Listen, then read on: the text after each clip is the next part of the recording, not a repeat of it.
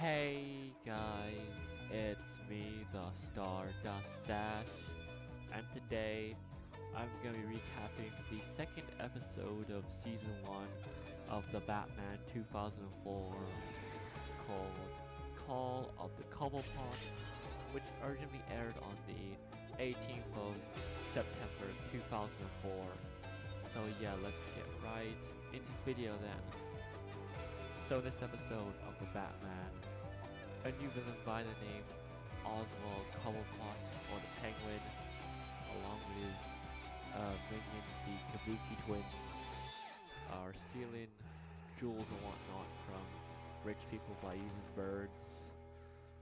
And Batman figures out that it's Penguin or or, or Cobblepot, I guess.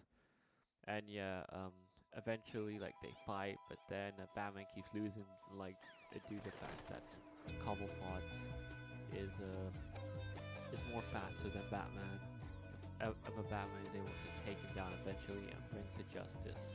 But then the uh, Kabuki, uh, Kabuki twins escape the process. So yeah. But anyways, I'll see you guys next time. Bye.